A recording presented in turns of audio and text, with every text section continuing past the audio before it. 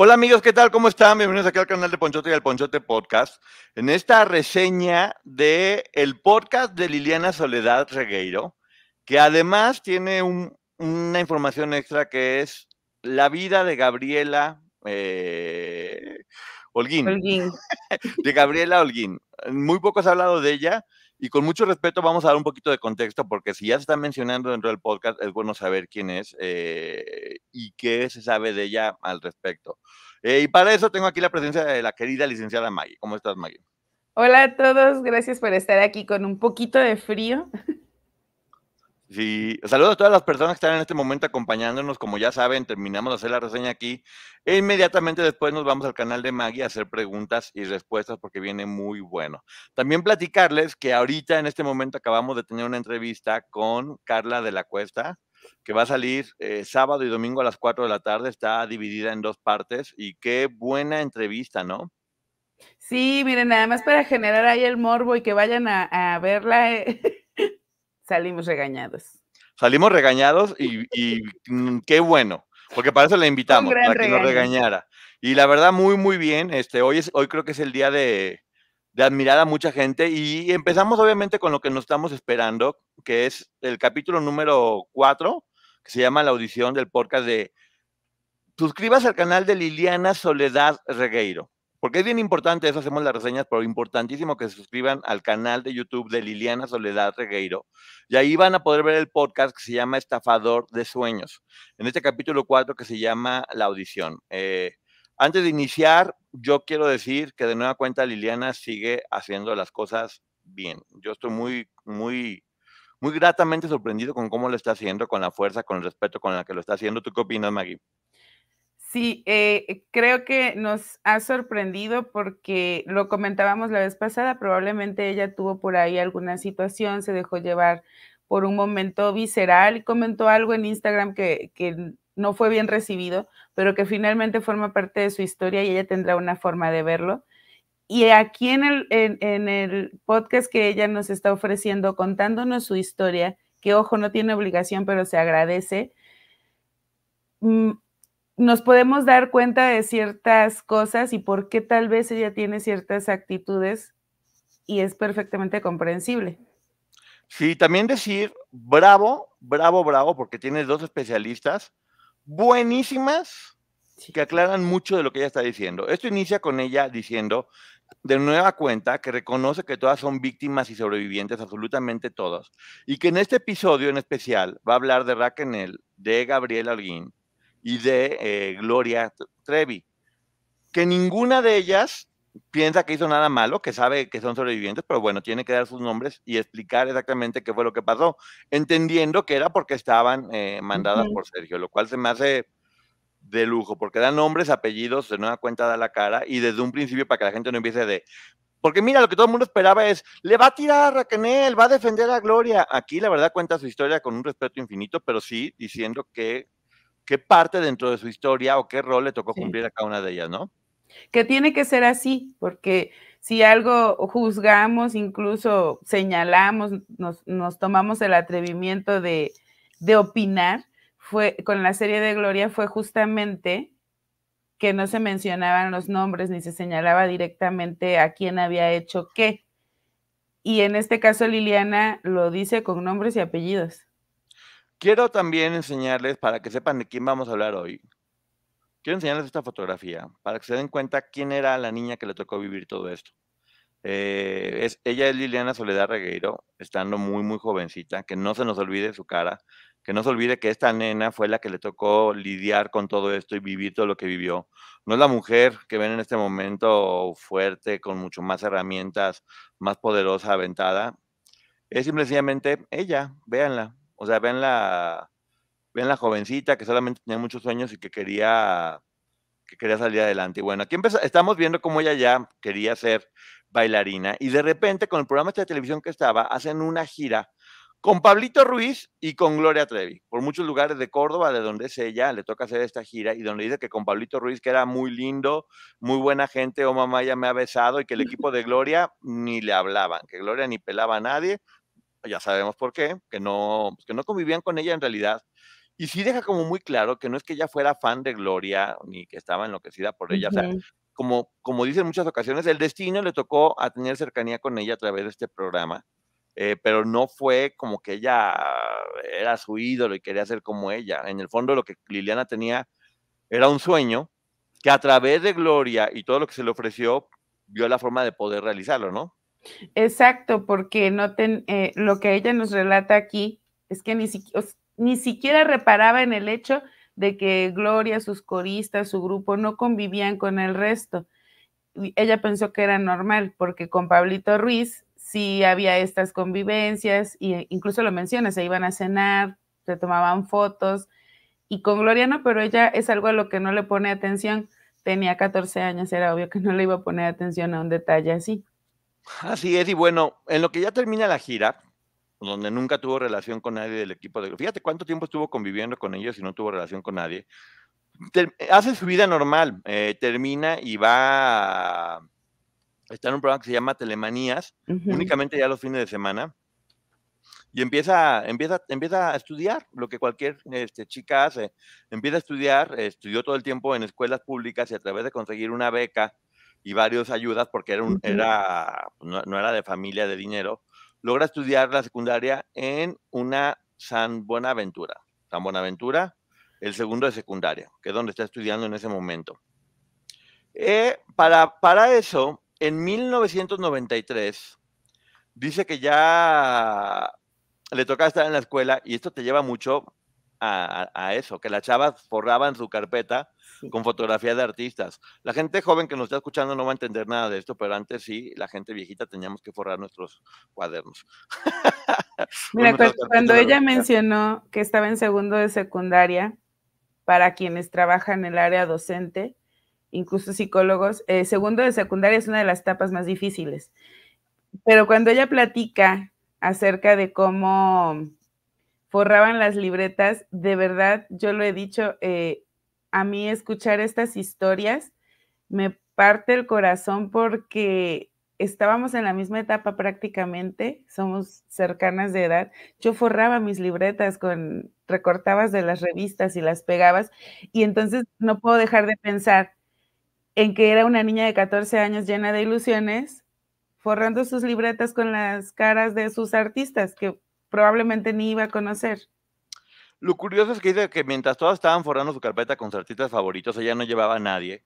Llevaba de Luis, y todo el mundo llevaba de Luis Miguel, que era su artista favorito, y de repente una amiga le lleva una foto de Gloria Trevi, porque pues había escuchado que había estado conviviendo con ella o algo por el estilo, y es así en ese momento que ella, como ya tenía la foto y no, no llevaba nada que forrar, termina termina poniendo la fotografía de Gloria en una de las, de las revistas.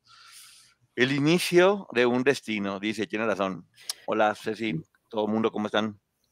¿Qué opinas de eso? Que en varios momentos en los capítulos anteriores y en este ya ha mencionado cómo era parte del inicio de ese destino y ella no se daba cuenta. Pero es que tenía 14 años.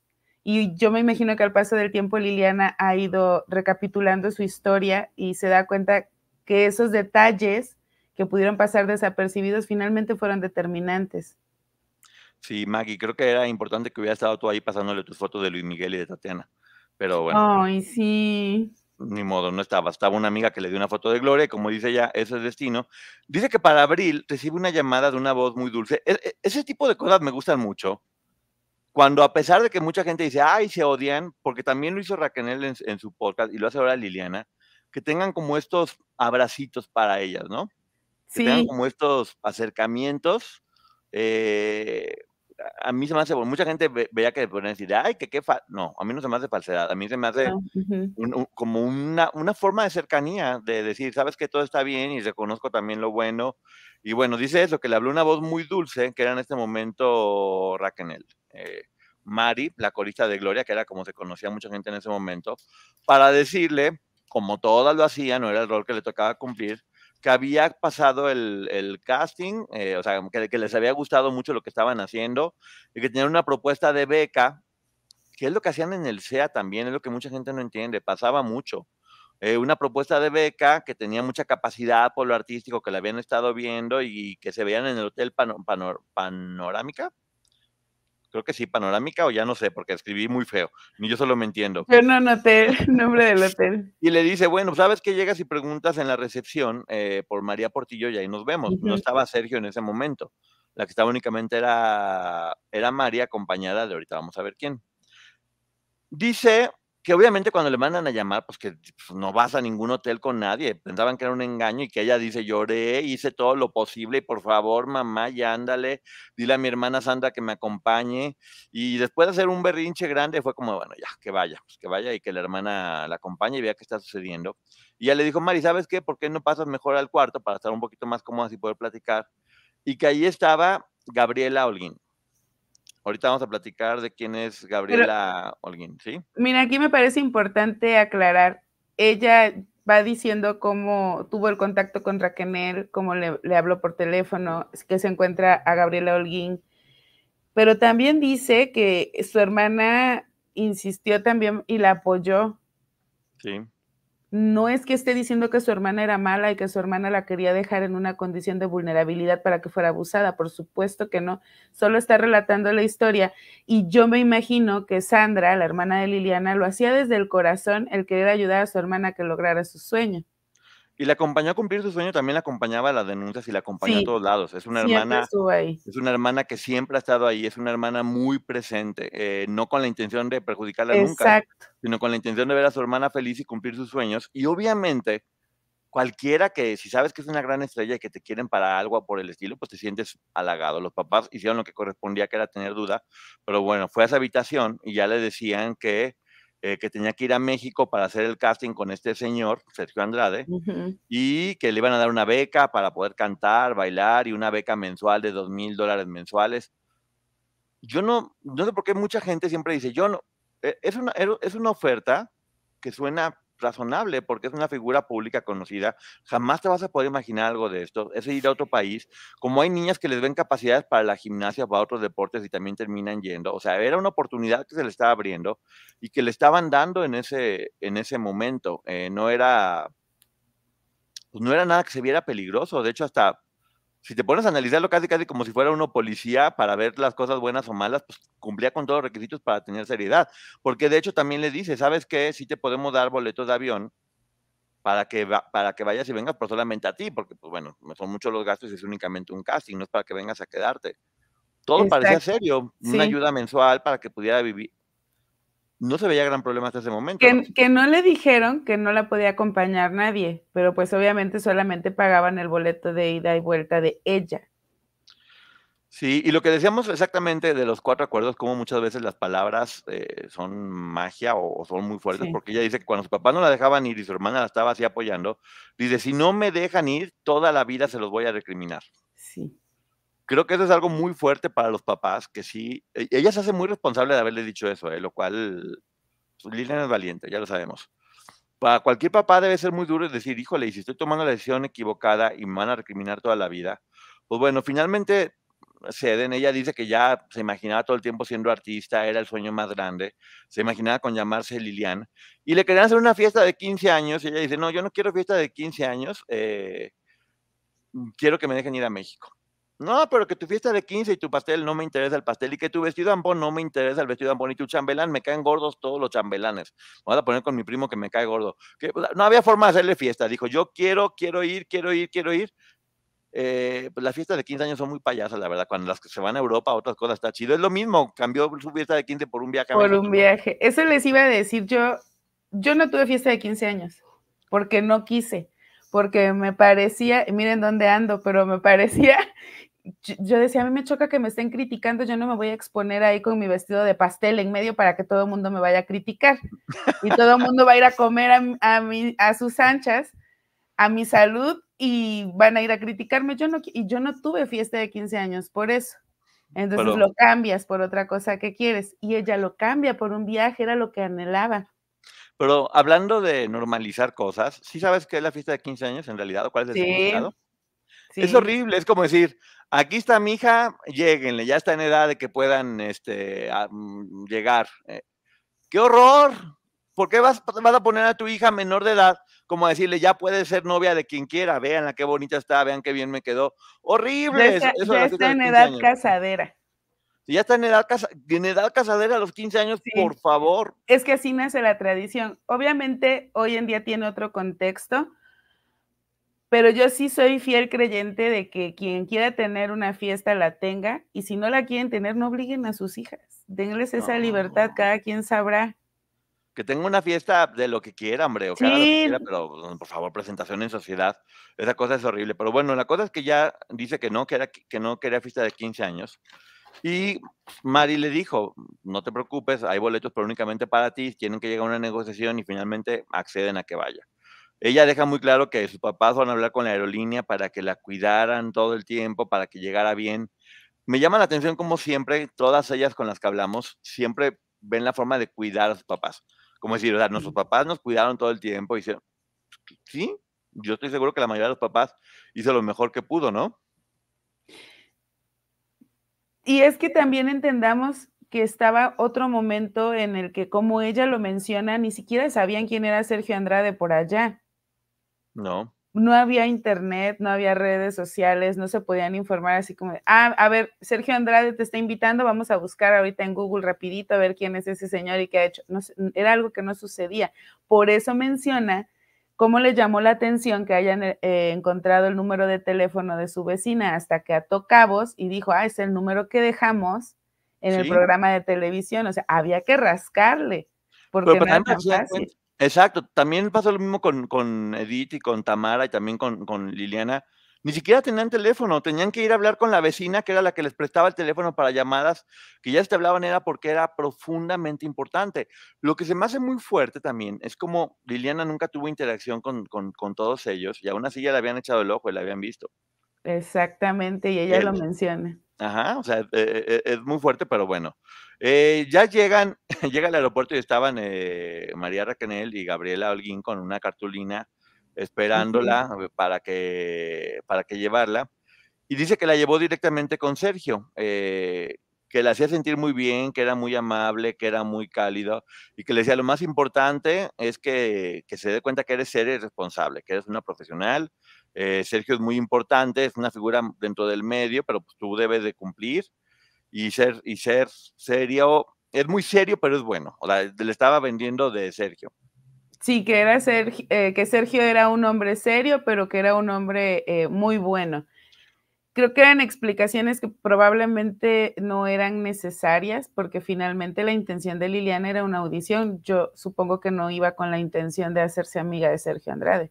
Pero también salen, o sea, también es un poquito como, a mí no me hubiera brincado tanto, como, ah, pues estoy platicando, me lo estoy diciendo que es buena onda para que no me intimide, que me dé confianza. Hasta lo puedes sentir un poquito como apoyo para ti, ¿sí me entiendes? Como de, ok, sí, es, o sea, sí te puede intimidar, es serio, pero no, no, es como, se ve gruñón, pero no muerde, para que estés tranquila. Y sobre todo a esa edad, porque a lo mejor sí le pudo intimidar el que fuera el tipo serio. Sergio Andrade se llama. Dice que Raquel era muy carismática y que le sorprendía como cuando veía a Sergio, cambiaba. Sí. Pero de nueva cuenta iba el abracito. Era muy carismática y cuando veía a Sergio, se, se hacía. La dejó sola con Sergio para hacer el casting y es lo mismo que hacía con todas. Dice, pues yo pensaba que bailar y no, primero que actúa de indita y pídele trabajo. Fíjate cómo desde un principio era como una cosa de sumisión. Sí. Eh, justo, justo, de verdad nunca lo había pensado tan detenidamente hasta hoy que lo dice Liliana. Primero como una indita y tienes que pedir trabajo y lograr convencerlo. Y entonces yo me imagino que ahí medía el nivel de sumisión al que la podía llevar. Y después, y esto fue lo que me hizo reflexionarlo, una niña fresa agrandada. Entonces yo me imagino que lo que quería medir ahí era qué tan soberbia o prepotente o, o qué tanto podía levantar la voz y pelear por lo que ella creía correcto. Y ahí la iba midiendo. No a ella, a todas. Sí, después de que la, puso como para ser presentadora de televisión, para ver si servía como de conductora, pues hasta ahorita todo parece un casting afortunadamente normal. Y dice que es sin expresión, que sucede mucho todo el tiempo. No tienes que decir si eres bueno o malo, simplemente tienes que estar calladito, viendo lo que están diciéndote o esperando. Lo que lo hacía aparentar que era profesional. Sí, ya después le puse a cantar eh, y cantó Tu Ángel de la Guardia de Gloria Trevi. eh, tengo entendido que ella no, nunca quiso como ser cantante, pero bueno, igual está bien, es parte de una audición. Y que le decía, no, pues es, es, el mejor. Ah, y que le llamó a Gloria en ese momento. Imagínate, forraste un cuaderno con ella y de repente llega Gloria. Pero fíjate, si tú ves Sergio, cómo tenía muy bien estructurado su Sí. plan, en el cual nos queda aquí claro, Raquel y Gloria eran estas piezas que movía según él iba necesitando. Es, como, una- es como en maquila. Eh, tú cortas las piezas, tú las rellenas de pan, tú esto, de nueva cuenta, como ella dijo del principio, pues no está hablando mal de ella, fue lo que pasó. Y en su historia llegaron y hablaron. Y que Gloria le decía, pues es el mejor, es serio igual, pero no, no le tengas miedo, es muy profesional, todo lo que toca lo convierte en, en oro. Es como cuando vas a vender un producto que tienes que decir, mira, es lo máximo, qué chido, para que la gente pueda estar. Pero Eh, además le habla de las artistas que había representado o descubierto Sergio Andrade.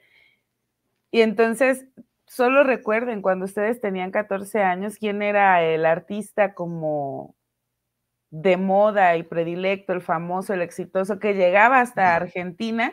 Y entonces, eh, por supuesto que Liliana iba a decir, wow, entonces el tipo sí sabe de lo que está haciendo y sabe de lo que habla. Fíjate, y luego como dicen, pues, nadie, nadie, nadie conquista a golpes, o sea, tienes que primero que enamorar a la persona. Entonces ella dice que la llevaron a una casa blanca enorme, en una habitación hermosa, con baño, llena de peluches. O sea, es que se me hace como la jaula perfecta sin que se dieran cuenta. Una habitación Sí. pensada exclusivamente para que quien llegara ahí se sintiera bien, ¿no? Los peluches no eran producto de ahí, las quiero mucho, eran como parte de... Hacerla sentir en casa. Sí, pero también me llamó la atención que era una habitación de una niña. Pero ¿sabes qué, qué pensé cuando escuché esa parte? ¿Cuántas de ellas dejaron lágrimas en, ese, en esa recámara? Claro. Y cómo estuvo pensada. O sea, este hombre tenía una capacidad de manipulación enorme, porque yo estoy segura que la, la armó pensando en hacerlas sentir cómodas. En sí, esto, esto es lo que me están ofreciendo en la audición. Imagínate ahora que ya trabajé con ellos. Así es. Recuerden que estamos grabando podcast y ahorita nos vamos con, con Maggie a preguntas y respuestas. Beso a toda la gente que está entrando. Y también es, es como hasta cursi, pero real de, ¿cómo me van a hacer algo malo si hasta me ponen en una recámara con peluches? O sea, Sí. obviamente, mira, dice Rojo exactamente peluches que obviamente los fans le regalaban. Que es cierto, ¿eh? O sea, los fans le regalaban peluches que terminaban formando parte de un cuarto que servía para poder captarlas. Qué Sí. fuerte. Dice que le decían, no salgas sin permiso. Nosotros te vamos a llevar la comida y que sí le llevaban comida, no mucha, pero que le llevaban comida, la tenían en ese cuarto. Y hasta ahorita pues sí suena como una norma, sí un poco exigente, pero nada fuera de lugar, ¿no? Sí, porque tal vez ella lo pudo, y esto me encantaría que ella algún día nos lo pudiera contar, tal vez lo, lo tomó como de, claro, como todos están ocupados y yo estoy esperando la segunda audición, por eso estoy aquí, entonces para no molestarme voy a esperar a que me traigan ellos las cosas. Así es, llega el número día, el, el día 2 y ya se da cuenta que todas están como viviendo en esa casa. Sí. De hecho, ve a Gloria que está dibujando para su cuentito, que luego vamos a hacer lo de los cuentitos para que vean qué cosas tan feas. Horroroso ese, ese, ese- es- esa revista y, y cómo permitían que saliera, por Dios santo. Luego vamos a hacer un programa especial de eso, ya muy pronto, porque la verdad que vale la pena hablar de eso urgentemente. Eh, dice que, que, le dice Raquel, ven Gloria, saluda a Liliana. Sigue, sigue siendo pues, como parte de esta dinámica que estaban llevando ya comprendían muy bien, y que mientras tanto Sergio tocaba el piano, eh, que le dijo a Gloria, Gloria, dale tu ropa para que se la ponga. Y Gloria le dio ropa y entre la ropa que le dio le puso un bikini. No habla de que lo vio como algo malo ni nada por el estilo, habla de, sí, me prestó ropa, yo creo que como para, si voy a ser corista, para que me ponga la ropa de ella y sepa cómo va a ver, ¿no? Pero fíjate, antes de que cuente eso, contó eh, que cuando ella sale, saluda a Gloria que está dibujando y, y- perdón, ve a Sergio que está tocando el piano. Cuando Sergio la ve, deja de tocar el piano y Liliana se sintió mal Sí. de pensar que tal vez ella le estaba robando el tiempo. O sea, ya, ya ahí ya había cierta manipulación en donde Liliana incluso se sintió mal de que Sergio dejara de tocar, porque tal vez ella era la que le estaba quitando el tiempo. Sí, de alguien tan importante como dice, como dice ella. Dice que ahora, ahora sí fue la prueba de baile, en lo cual ella era, era experta, obviamente, que le tocó can- bailar canciones de Michael Jackson, también canciones de Michael Jackson, y que cuando se puso el bikini, que únicamente le decía, pues camina, da vueltas, todo dentro de lo que cabe profesional. Obviamente era completamente fuera de contexto que una persona que, ojo, le hicieron el casting y hasta dos años después le hablaron, ¿eh? Dos años después de que hizo el casting le hablaron, por, lo cual yo creo que ya las hacen sentir que ya perdieron por completo la esperanza y de repente te hablan y dices, pues no la puedo dejar pasar bajo ninguna circunstancia, ¿no? Y, también dejarla con esta sensación de ya no lo logré. Este, yo recuerdo cuando ella nos, nos da una entrevista, aquí nos comentó esa parte, que ella dijo, bueno, pues ya pasó mucho tiempo, yo creo que ya no me hablaron. Entonces, creo que funcionaba en el sentido de para que cuando le hablemos salga corriendo. Así es, y bueno, ya después le dice, ¿sabes qué? Ponte una ropa y vámonos a comer. Y se le lleva a un restaurante muy bonito con todas. Eh, pero dice que en el restaurante había pósters de Gloria, que ella hasta pensaba que el restaurante era de ellos. Eso me llama la atención. A mí también se me hizo raro un restaurante con pósters de Gloria. Y dice que le llama la atención cómo ellas comían sin parar. Dice, pues sí comíamos poquito, pero era como que comían como con mucha ansiedad. Pero también te das cuenta de cómo si de repente la sacaba a comer, pero cuando era como para ese tipo de cosas, para poder hacer que la, que la gente se sintiera bien. Dice ella que no hablaba, que se sentía como mal, especialmente con Sergio, que ni lo conocía, que se sentía incómoda y que no le daba bola, como dicen en Argentina, porque ni sabía quién era Sergio, o sea, no le daba tanta importancia. Estaba feliz con Gloria Trevi, que era la famosa, con sus amigas, se la pasaba muy bien. Y ya después se enteró que el hombre se enojó, obviamente, pero que ya, que le empezaron a decir, mira, ¿sabes qué? En el medio, cuidado con hombres y novios que te perjudican. Lo cual tampoco es un mal consejo, honestamente. ¿eh? Si están empezando la carrera a enfocarse y no desviarse, no es un mal consejo, o no se puede tomar como, ¿qué quieren? ¿Por qué están diciéndome ese consejo? Porque suena congruente, ¿no? Es que hoy por hoy nosotros sabemos que era parte de esta manipulación que poco a poco iban ejerciendo. Pero en, ese momento yo no lo tomo como un mal consejo. ¿A quién de nosotros no nos dijo nuestra mamá o nuestro papá, no tienes edad todavía de tener novio, concéntrate a estudiar, el novio te va a quitar el tiempo? Y no es un mal consejo, pero hoy sabemos que ese consejo no iba dirigido en ese sentido, sino a la probable captación. Uy, qué, fuerte lo que dice Rojo, la comida era el premio para las reclutadoras eh, por parte de la coacción. Qué fuerte. Y sí, es el capítulo 4. entonces, bueno, ella estaba feliz con eso y ya le dice, a, le dice Gloria, si Sergio te llama, te vas a quedar, este, que está todo muy bien, ojalá, lo hiciste perfecto. Dice que Gloria muy humilde y muy tranquila, eh, que le da muchísima confianza que si todas lo comentan, de hecho la llegaban a sentir como su mejor amiga o como casi casi una hermana, ¿no? Sí. Dice que regresó a Argentina diciendo, qué bien la pasé, qué maravilla, quiero vivir esto todo el tiempo. Mira, una vez pusieron un ejemplo eh, con las drogas. Dicen, pues obviamente la trampa tiene que ser, el anzuelo tiene que ser bonito. Entonces las primeras veces que la gente consume sustancias, pues se la pasan increíble porque es la trampa, tiene que ser todo. Y normalmente se las dan regaladas. Claro, y ya después cuando se van, se va poniendo las cosas peor y se va poniendo mal, y de alguna forma esto se trataba de eso, de volverlas adictas y no poder salir de, todo eso. Eh, dice que se recibió para ese momento de maestra de aerobics y dos años después, en el 95, lo que decíamos hace rato, la llamó, la llamó Mari. Eh, eh, aquí hay perdón. Aquí se quedó un poquito la, historia porque pues, va, a continuar hasta el momento que le habló que le habló Mari. Y hay dos psicólogas, una que es licenciada en educación, Bárbara, y Priscila. Es que sí puse los apellidos, pero no los puedo leer, perdón.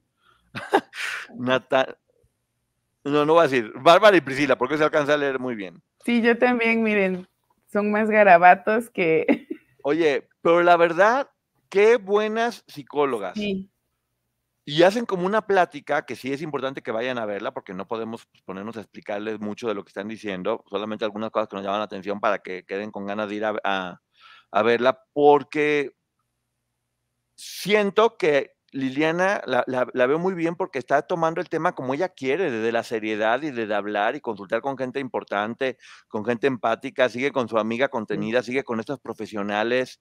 Eh, se ve muy fuerte, o sea, se, ve muy, muy bien plantada, ¿no? Sí, y fíjate, eh, veía que alguien comentaba ahí en el chat que mejor hubiera tomado terapia y no lo hubiera hecho ahí en público yo no creo que lo esté haciendo o que la terapia la esté tomando en público. Es, que ese tipo de contenido va dirigido a que nosotros, que no estuvimos ahí, podamos comprender cómo trabaja el depredador. Y cómo incluso manipula a quienes están a su alrededor para lograr su objetivo de captar otras víctimas. Además, si ella está haciendo este, este podcast, que lo está haciendo con la finalidad de informar y de ayudar a otras personas, es importante rodearte de gente capacitada para que no sea tu punto de vista, sino lo que viene de profesionales. Y efectivamente dijeron muchas cosas para explicar muy bien cómo sucedía todo esto. El hecho de que te van aislando para que tú, para que ellas mismas tomen la decisión, no decirle, deja todo de lado, sino que ellas mismas vayan tomando la decisión de dejar a todas las personas, su familia, su red de apoyo, eh, los pone en contra, ya saben, hablar en contra de sus papás, hablar mal, para lograr este... Me encantó este término de secuestro emocional.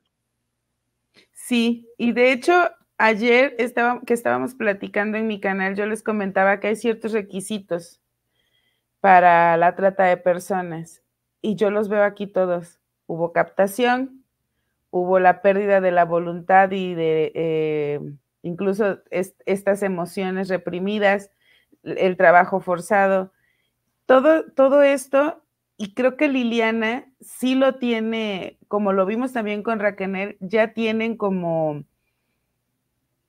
esta parte muy consciente, porque nos está presentando el momento de la captación y aquí poco a poco lo que yo logro ver es cómo le fueron quitando la voluntad. Completamente. Ah, hay una pregunta que es importante. ¿Por qué traerte gente de Chile y Argentina? Ellas decían que era como una forma de expandir su ego. Yo creo que era como una forma de poder ver qué funcionaba mejor porque tal vez siempre con la familia en México corrían peligro, pues de hecho sí, las personas que terminó teniendo problemas es la gente que estaba en México, y saben que si se podían traer a todas de otro país, era mucho más fácil poderlas dominar. Creo que fue un poquito una investigación de mercado, por decirlo de alguna forma. ¿Tú por qué crees que lo hicieron? Yo también así lo pensé, porque lo comentan ellas, y yo lo que estaba pensando es, claro, para ese momento ya habían tenido problemas con Aline, que era de Ciudad de México, que su mamá vivía en Ciudad de México y que estaba al pendiente Vemos que otras chicas que no eran de Ciudad de México probablemente le representaron menos problema porque recordemos el momento en el que estaba, eh, estábamos y no, era la tecnología que tenemos hoy en día. No era tan fácil como mandar un WhatsApp o hacer una videollamada incluso. Entonces, el alejarse, yo sí creo que lo hizo Sergio Andrade pensando en entre, entre más distancia haya con sus casas o su lugar de origen, va a ser más sencillo manipularlas y más complejo que se puedan ir o que la familia esté brincando para saber dónde están. Exactamente, eh, lo tenían todo, pues, todo bien puesto, sabían que Gloria tenía fama en muchos países y era una buena forma de poder lograrlo. Eh, utiliza, te, explican, y esto es muy fuerte, cómo todos estos psicópatas, porque nunca le dicen narcisista, se van directamente a psicópata, eh, primero te hacen algo que se llama bombardeo de amor. Y lo vemos mucho en las relaciones de pareja o en los matrimonios tóxicos o las amistades tóxicas. Como primero es amor, amor, abrazos, o como dicen, acariciar al caballo para poder montarlo. Y es, y es muy, híjole, es muy duro porque muchas veces ya, como dicen, uno ya no sabe si la gente que aparece que tiene buenas intenciones y que te quiere, en realidad lo que te quiere es fregar después, ¿no? Y ese cuántas historias no conocemos, incluso de matrimonios, que en el noviazgo era una situación y en cuanto empiezan a vivir juntos o firman el acta o reciben la bendición en la iglesia que quieran, cambia, cambia este, la interacción y muchas veces una de las partes se vuelve depredador del otro. Sí, hacen pues, ahora sí que hacen su trabajo, hacen su trabajo y, con tiempo. Y esas personas después dicen, no, pues que es buena persona, está pasando por una mala etapa, porque los conocieron siendo buenas. Y con este bombardeo de amor. También platican lo que habíamos dicho siempre, ¿por qué las agarran la etapa de la adolescencia? Pues porque son niñas todavía. Están en formación. Dijeron algo muy fuerte, que se habla mucho, que es, eh, son niñas con cuerpo de mujer. Sí. Uy, eh, eso se me hizo. Cuando dijo eso, dije, claro, solo recordemos, estamos en los 14, 15 años y ¿quién no se sintió grande? Tanto hombres como mujeres, a esa edad sientes que ya te puedes comer el mundo. Pero el hecho de que obviamente hay quien se desarrolla más rápido, que quedan muy expuestas a este tipo de, depredadores. Sergio Andrade no veía que sus víctimas tenían 14 años, sino el cuerpo de esas víctimas. Oye, y aquí nos están poniendo algo que es bien importante, y es que todo esto pasa inmediatamente después de que sucede lo de Aline. Creo que esto explica perfectamente por qué se aterran con lo que pasa con Aline y dicen, hay que hacerlo mejor con gente de fuera, porque si no nos puede volver a pasar. Y firmado con contratos. Ahora sí que con Aline fue un factor para que pulieran la técnica, por decirlo de alguna forma, y que no volvieran a cometer ese mismo error porque ya sabían que se lo estaba fregando. Y sí se lo fregó al final. Spoiler alert, sí se lo fregó al final y me da muchísimo gusto. Sí, a todos. A todo el mundo nos da muchísimo gusto. Pero bueno, también siguen hablando, ya lo he escuchado de varias, y es que, que sí, que para ellas, dentro del momento que estaban pasando, no era ni un clan, ni una organización coercitiva, era una familia. Sí todas, era una familia. Eh, y se veían a todas como hermanas y quien traicionaba a la familia era el malo y era el villano. El miedo no anda en burro, exactamente. Y dice que la última persona que siempre se entera de que formó parte de eso fue, pues, las víctimas, ¿no? Sí. Porque además encima se sienten que fueron elegidas por el creador o por el... Es que eso iba... Miren, yo no sé, eh, ahora está muy de moda esto de el árbol familiar también se poda pero recordemos que para quienes ya estamos entraditos en los 40, vamos llegando, como sea, ¿cuántas veces no se nos dijo que a la familia casi había que tolerarle todo porque es la familia? Entonces este hombre, como otros depredadores que ya conocemos a lo largo de la historia, formaban familias y les hacían sentir eso, pero además les hacían sentir importantes porque era la elegida. O sea, ¿a cuántas más no conocieron en Argentina y solo eligieron a Liliana? Exactamente. También, por ejemplo, hablan, ay, esto es tristísimo. Los principales, los principales víctimas de los seres estos nefastos son las personas empáticas. Ven en los empáticos una carnada perfecta para poder este, hacer que, que, caigan. Esto que es una virtud, porque yo sí sigo considerando que es una virtud la empatía. Ellos lo ven como es la víctima perfecta porque va a poder, voy a poderme vender como pobrecito y todo el tiempo va a estar este, enganchado a mí. Liliana dice algo bien, bien importante, que, que, si, lo despedazamos parte por parte de la frase, dice, él utilizó como anzuelo a un artista. Sí.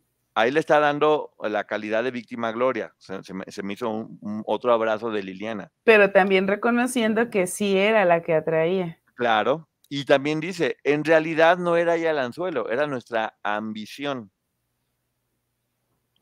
se aprovechaba un poquito, sí, de la ambición de ellas, que no es malo. Es él que, para ser malo, no era algo malo, pero él veía que eran personas con ganas de comerse el mundo y dijo, pues aquí está, yo se lo doy de comer. Aquí yo tengo el buffet. y jugaba, jugaba con los sueños de estas jovencitas, pero si te das cuenta, las hacía sentir responsables porque lo ven como esta ambición que pudiera malinterpretarse de soy capaz de lo que sea por lograr lo que quiero cuando se trataba de sueños. Y te pone un ejemplo muy fuerte porque dice, cuando una persona tiene mucha hambre todo el tiempo, pues se come lo que sea. Y entonces cuando una persona es muy ambiciosa, pues también se come lo que sea, porque lo que tiene es hambre, tiene como esta necesidad de, de hacerlo. Y lo que se encarga este mm, narcisista es hacer, evitar que la persona piense, que, que, no, que no digas bueno o malo, que simplemente te lo, te lo comas y ya. Habla de algo que es muy fuerte, que es el ejemplo de la luna, que les pido que vayan a verlo al podcast porque no quiero decírselos, de cómo estas personas se encargan de rellenar las piezas que le faltan al adolescente para que convertirlos en verdades absolutas, porque un adolescente no tiene, digamos, que el mapa completo. Tiene tres piezas y este se encarga de ponerle las otras piezas como le conviene. Es que son etapas del desarrollo. Y, y él creo que estaba muy informado respecto a esta etapa. Así es. Y entonces buscaba llenar esos vacíos, que yo por eso, lo he dicho en otras ocasiones, yo no me atrevo a decir, es que yo hubiera hecho esto. Piensen en esa edad y piensen lo vulnerables que éramos cuando teníamos esa edad.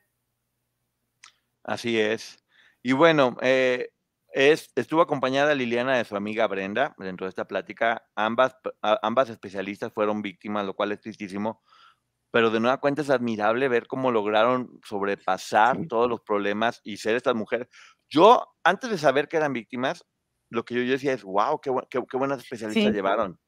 Qué, qué, qué, inteligentes, qué fue. de hecho, yo decía, qué, buen capítulo porque está educando mucho. Decían frases muy fáciles de entender, muy contundentes. Liliana se ve seria, hablando con mucho respeto, con mucho cariño. Yo la siento como, al fin estoy haciendo lo que quería. Y, lo está levantando ella, eh, contenida por sus amigas, y me da mucho gusto, honestamente. Me da mucho, mucho gusto, ¿no? Sí, y justo eh, lo que platicábamos antes de entrar, hoy escuchar a estas dos especialistas ver que están tan preparadas, ver que hablan con, de forma tan contundente del tema y con tanto conocimiento. Hace rato tuvimos esta conversación con Carla de la Cuesta y para mí sí es como qué triste y qué lástima que para lograr ese grado de preparación, para generar esa empatía y decir, me voy a preparar para ayudar a otros, hayan tenido que pasar por esa situación. Creo que todos deberíamos de hacerlo sin necesidad de pasar por ahí. Sí, pero la entrevista con, con, los especialistas también no tiene pierde. En lo que platica Liliana, da, detalles, habla con mucha eh, certeza, pero pues no ha dicho nada como que no hubiéramos escuchado ya en otras historias. Lo importante es la forma en que lo está haciendo, el respeto con lo que lo está haciendo, como todo el tiempo está diciendo esto no es contra no es contra nadie. Yo en ningún momento lo sentí violento, al contrario, sentí mucho respeto hacia Liliana, hacia Gabriela y hacia Raquel está contando su historia, así como escuchamos a Raquel contar su historia y entendemos que tenía que nombrar a las personas. Lo mismo sucede en el caso de Liliana, pero yo lo que veía en el chat era, ah, no, ya está atacando, pero yo no sentí que la atacara. Jamás en la vida. Ni, ni atacó a Raquel ni defendió a Gloria. Dijo lo que sucedió con mucho respeto y siempre diciendo, entiendo por qué lo hicieron, no la estoy culpando, solo estoy narrando lo que pasó. Porque hasta hubo un momento en el que dice, perdón que te interrumpa, ella dice, este, mm, yo me sentía muy segura y tranquila cuando Raquel estaba conmigo. Así es. Así es, porque sí, de hecho muchas lo dicen que era como, como la mamá, la cariñosa, la que apoyaba, la que estaba siempre ahí.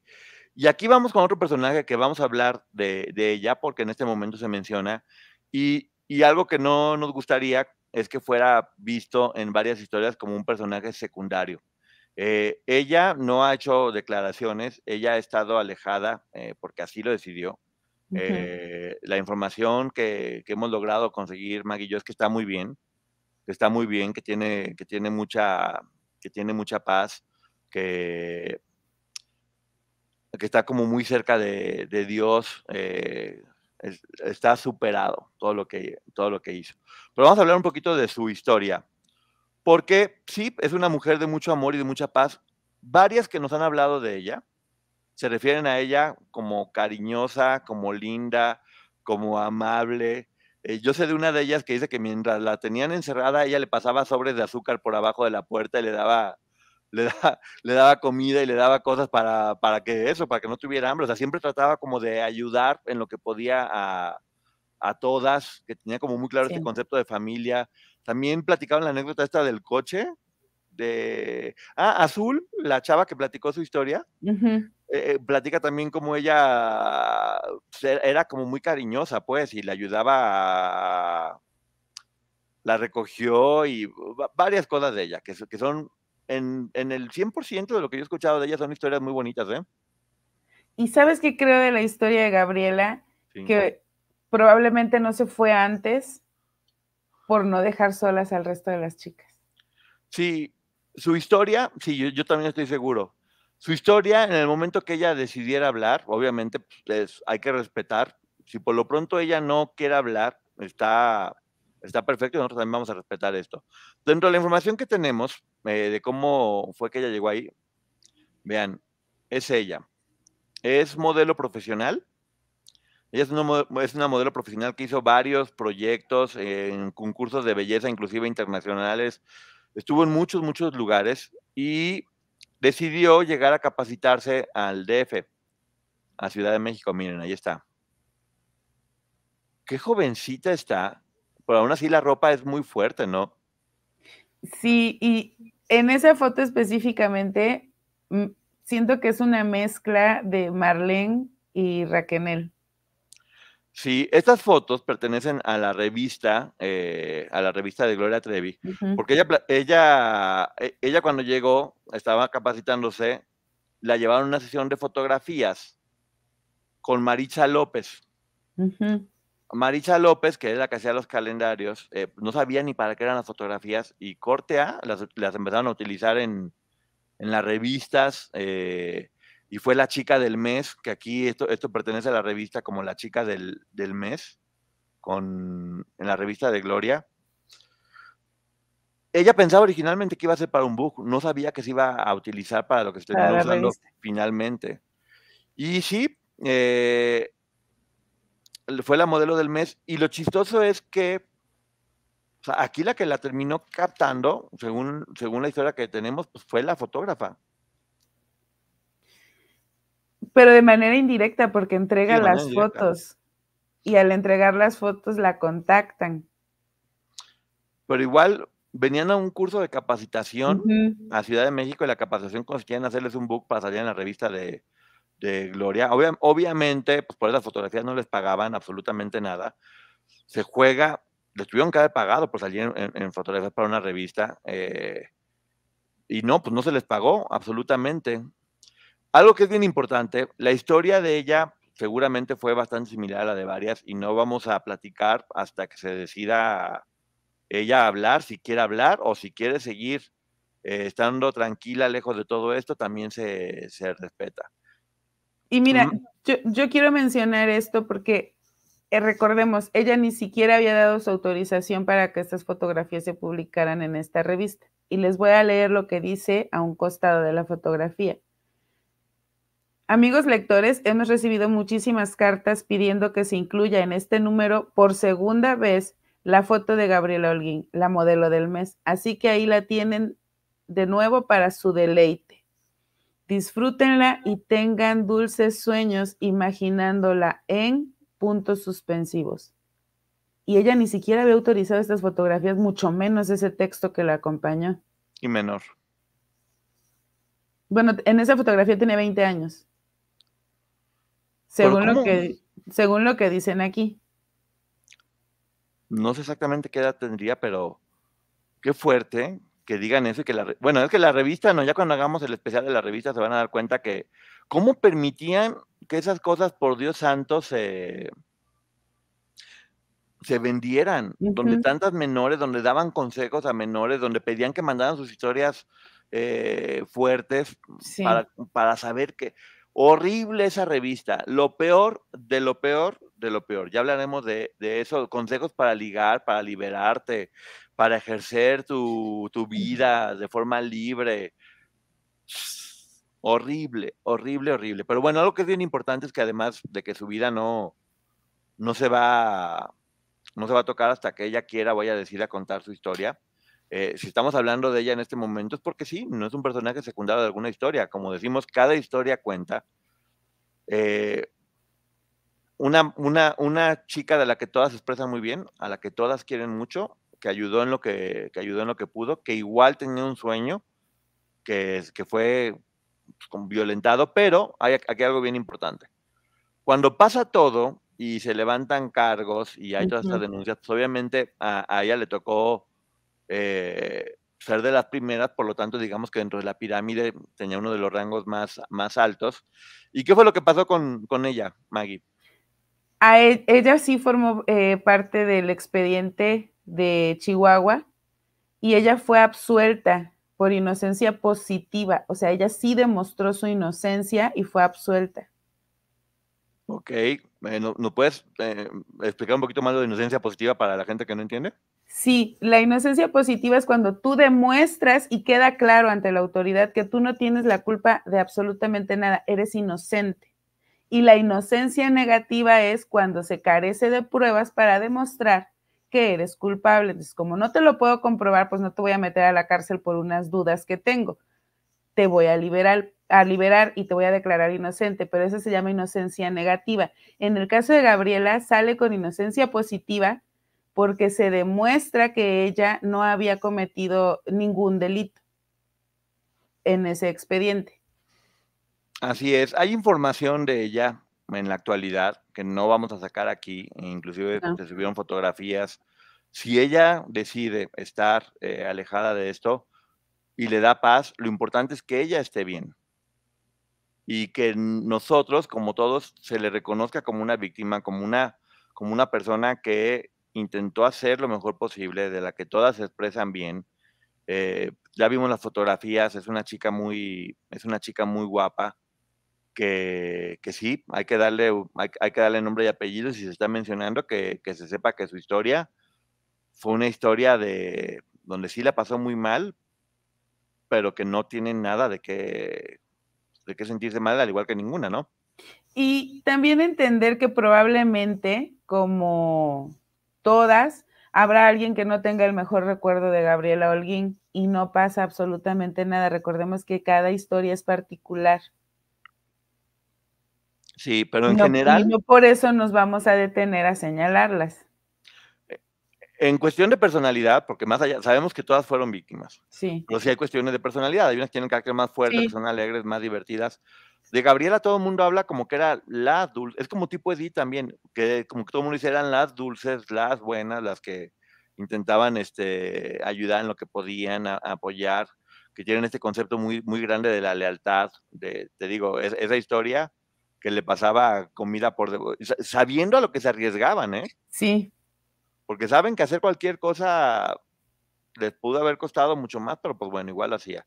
Un abrazo enorme eh, donde quiera que esté a Gabriela y, también felicitar de nueva cuenta a Liliana, ¿no? A mí al menos eh, me está dejando un muy buen sabor de boca por, por cómo está haciendo las cosas y porque está teniendo la fuerza de hablar. Y si algo no le pareció, que ya lo dijo en su comunicado, para quien no entienda, ya dijo que la serie pidió disculpas y la serie revictimizó a alguien. ¿Qué más quieren? Yo a veces digo, ¿pero qué más quieren? O sea, ya lo dijo, ya lo dijo, está hablando, está haciendo, de hecho creo que hasta está haciendo demasiado, eh, da demasiadas explicaciones, cuando ya, hombre, como dicen, la gente, la gente que te quiere no, te va a hacer ese tipo de preguntas y la gente que no te quiere, no importa no te va a creer nunca. No importa lo que hagas, no te va a creer y va a estarte fregando todo el tiempo y no puedes perder el tiempo en esa gente. Tienes que estar muy enfocado en lo que estás haciendo y lo que está haciendo es muy bueno. Y hay que darle eco a, esto? Pues mira, hoy hablamos de Gabriela Holguín, que es una historia de la que poco se habla, que ahorita vimos las fotografías, sabemos más o menos de dónde viene y que un abrazo grande y el reconocimiento, porque es otra superheroína.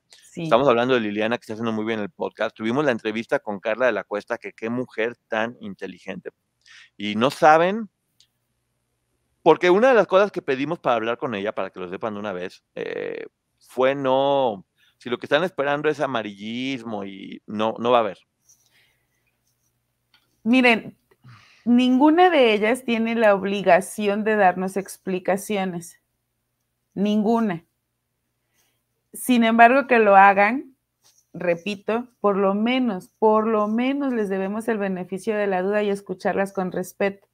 Y hace ratito leía a Katy Godoy, en, que es muy polémica, la leía en el chat de Liliana y ella dijo, eh, dejemos de pelear, porque había ahí una discusión, dejemos de pelear, escuchemos y tratemos de aprender. Y no puedo estar más de acuerdo. Y si, si ese, sí, Katy, y si ese, ese podcast a mí no me aporta nada y no me gustó y no me interesa, no lo escucho, pero no tengo por qué estar atacando. y como, como mencionaba ahorita Frikilicious, Sí, yo también noté que había dos o tres Sergios Andrades ahí, digo, atacando a Liliana y defendiendo situaciones que son indefendibles, pero bueno, sí dije, probablemente sea Sergio Andrade, porque es el único al que sigue interesándole que se cuente una historia mal y que no escuchemos la voz de las víctimas y la historia que tienen para contarnos. Como decíamos en la reseña de los cuatro acuerdos, que véanla, Está buenérrima la reseña que hicimos ayer de los cuatro acuerdos, mi libro favorito en la vida. Eh, hay muchos piratas cibernéticos de la información, no necesariamente en computadoras, que se dedican a meter, a desinformar. Y, quiero antes de irnos, dejarles esta imagen para que se imaginen lo que esta niña sigue viviendo, porque esta niña sigue estando dentro de ellas. Sí. Se convirtieron en mujeres fuertes y tienen mucho valor en, cada día contar su historia. Lo que nos dijo Carla referente a las víctimas me dejó congelado. Sí. congelado. Si, escuchan las entrevistas de Carla con el corazón abierto, eh, desde su posición de especialista, porque es una especialista en el tema, yo no entiendo cómo hay alguien que a estas niñas se le ocurre seguirlas insultando y ofendiendo. Pero bueno, Maggie, ¿algo que quieras decir antes de que nos vayamos a tu canal? Que gracias a todos otra vez por su atención, por escuchar atentamente la historia de Liliana, la de Raquel. Sé que hicimos el esfuerzo de escuchar la que creímos era la historia de Gloria en la serie, pero quiero pensar que no y yo sí esperaría que en algún otro momento la escuchemos. Y a todas las víctimas, no solo de este caso, sino de todos, a quienes nos quieran contar, porque no es obligación, y lo hemos dicho en muchas ocasiones, entonces yo sí les agradezco, estoy muy, muy orgullosa, chat, de todos ustedes, porque los vi por allá defendiendo con argumentos válidos y puntos de vista que pueden no ser los mismos, pero los defienden con argumentos y mucho respeto, y eso se los agradezco, estoy orgullosa de ustedes. Un abrazo enorme, Liliana, un abrazo enorme, Carla, un abrazo enorme, Gabriela Holguín, un abrazo enorme a, a todos ustedes también que nos que nos acompañan en este viaje donde estamos aprendiendo juntos, eh, porque sí, estar informados es lo mejor que podemos hacer para ayudar. Dicen que o eres parte de la solución o eres parte del problema. Creo que en estos casos en especiales, los que no formamos parte directa de esto, sí. quienes hacen el problema más grande es la gente desinformada. Y que ojo, ¿eh? eh todos los días, ah, yo hoy puedo creer que ya aprendí algo que es maravilloso y eso me da el poder para hablar, y mañana me voy a dar cuenta que eso estaba mal. Y hay que tener el valor y la humildad para decir, me equivoqué, voy a dejar este conocimiento que veo que no me aporta y quiero aprender más, porque estamos aprendiendo todos los días.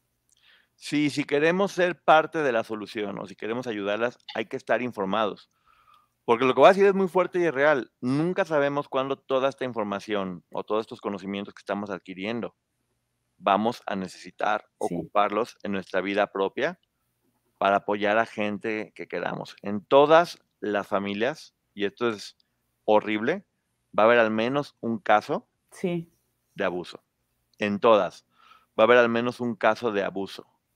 Y que todas esas cosas cuando dicen, ¿por qué no hiciste esto? ¿Por qué no lo otro? ¿Por qué demás? No se las vayan a tener que comer después cuando se vean en esa situación o vean a alguien que quiere en esa misma situación.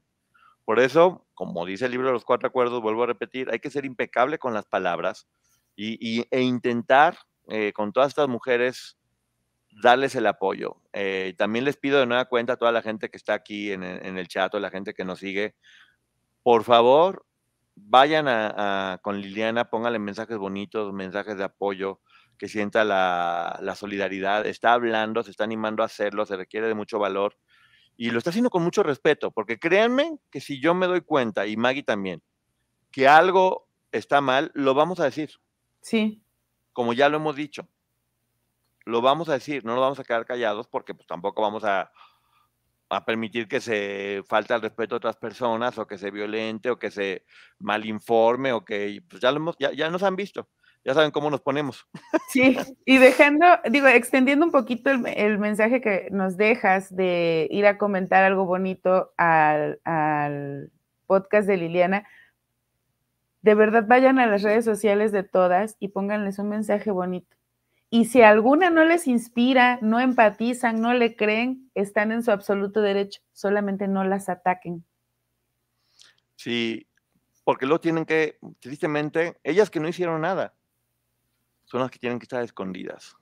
Porque el que deberíamos de tener aquí en el centro de la discusión es a Sergio Andrade. ¿Sabes qué, Maggie? Ahorita me, cayó el 20. Sería muy fácil esconderte de un solo agresor. ¿Cómo te escondes de millones de agresores en las redes sociales? Que es en lo que se está convirtiendo esto. Sí. En un montón de Juzgamos a Sergio Andrade y cuando vamos y las atacamos, nos convertimos en Sergio Andrade. Exactamente.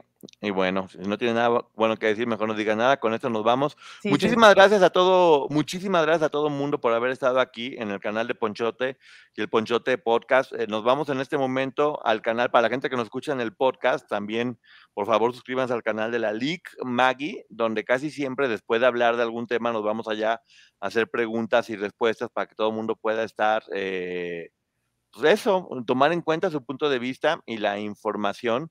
¿Será que sus testimonios serán usados en juicio? Todo, todo lo que ellas estén haciendo en este momento es material que puede ser usado en juicio, ¿verdad, Maggie? Sí, sí, y sí, este, vayan a mi canal, estoy preparando información buenísima de otros temas en donde vamos descubriendo cómo poco a poco estos depredadores pareciera como los gremlins, los mojas y se multiplican y es preocupante. Entonces vamos aprendiendo poquito a través de este tipo de, de, de casos tan delicados, cómo pudiéramos incluso prevenir que esto sucediera.